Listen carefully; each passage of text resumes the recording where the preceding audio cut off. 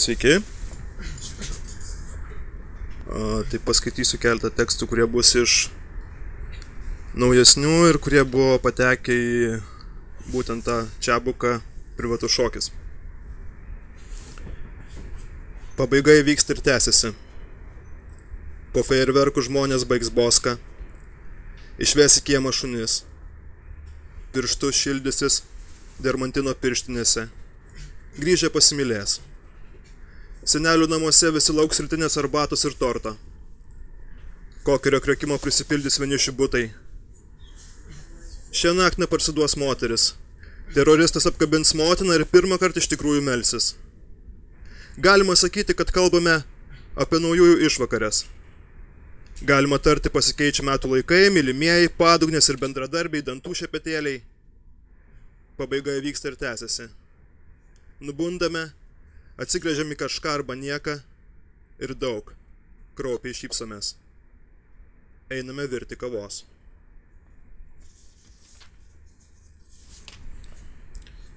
Pradžios. Pagaliu apverčia raina geldelę. Atidžiai glosto dumblius, plaukus įkalintų požemio žmonių. Bango šešėliui kerta apskaičiuota antausi.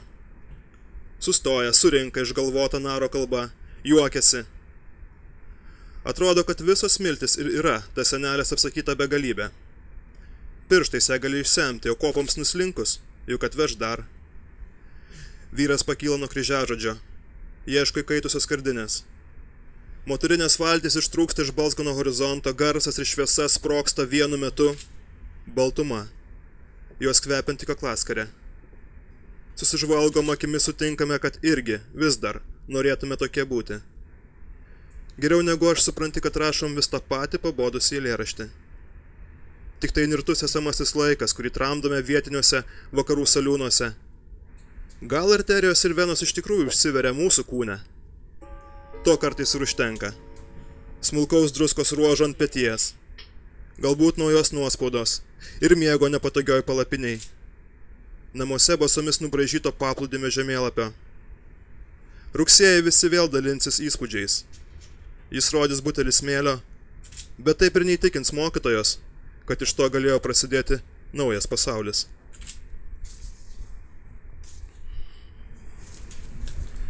Neperskaičiau. Gabijai.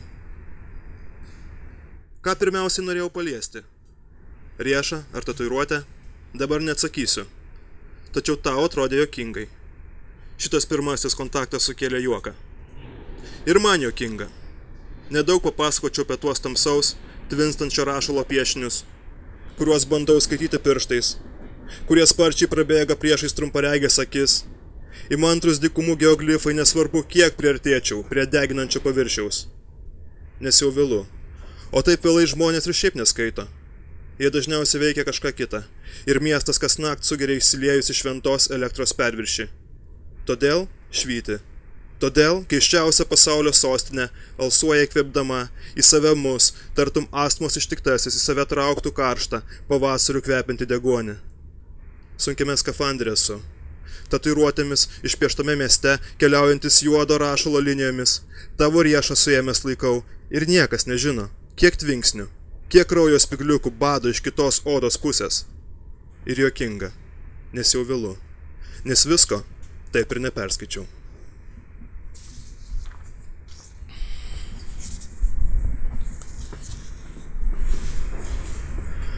Tavo demonai tavęs dar nepažįsta. Esi prieškambaris jų įsikraustimo išvakarėse. Nenustepk. Vidury nakties siuntų tarnyba paliks kartono dėžės su įspėjamaisiais užrašais. Atsargiai, nedaužyti, stiklas. Neišsigas sąskaitų už pervežimo paslaugas, kad pasirašydamas taiga pamiršai savo vardą. Viską neškis. Statyk palei sienas. Čia yra dailių inkrustuotų veidrodžių, kurie tiks prie bet kokio interjero. Taip jie įeina vidun, nors koridoriai jokių svetimų batų.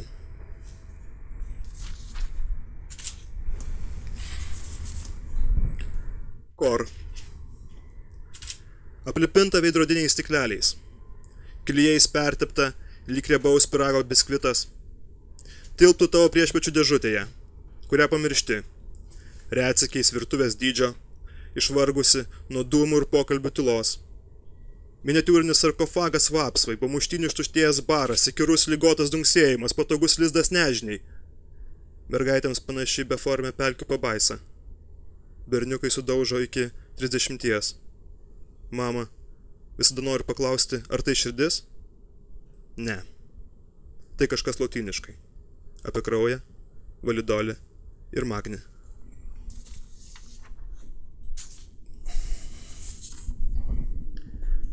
Pležas. Staiga susapnuoju Martą Eberson. Nubudęs verkiu. Tartum būčiau užsikirtusi sintezatoriaus klavišu po jos pirštais. Iki norvegiškos vasaros, debesų dirižabliai, iki aitverio, kuris netrukus pasikarsantis įstrinusių elektros laidų.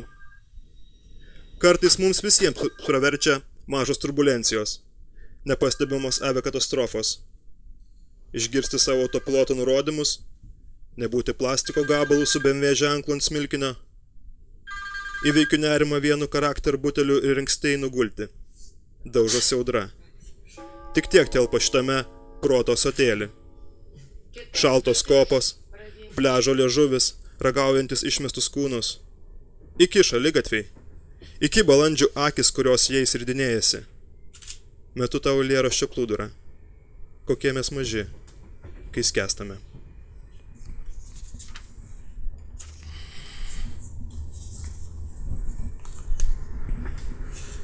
Polaroid. Atmosfera sėkmingai retėja. Kosmoso lešis apniauktas šiukšlių, įprasto magnetinio gausmo. Kambaryje tiek žmonių, kiek šilumos sugebėtų skleisti viena vokiška viryklė. Mano fizika pagaliau nieko nebereiškia prieš tavo fiziką. Bet kuri energija kartojas, niekur nedingsta. Ir vis vien visi jos ieško tarp dažnėjančių parūkimų. Kažkas vos vos sukteli gigantišką kleidoskopą, kol sukrentam. Apsikeičiam sofos kaimynais, balkonu ir koridorium. Kol šukės ir konfeti, veidų ir balsų atraižos. Visa trumpam atgyja, nebūties polaroido nuotraukoj.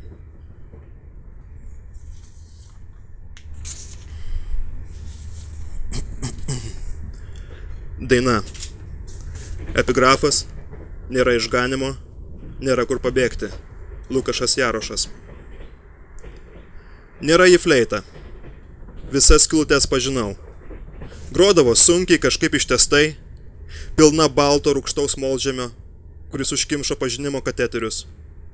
Joga, vegetarizmas arba turistiniai žygiai. Raminantis šaltis aklinose miesto kišenėse. Ištraukė kažką iš savęs lipnų nervų ledinuką. 16.27. Šeštadienis.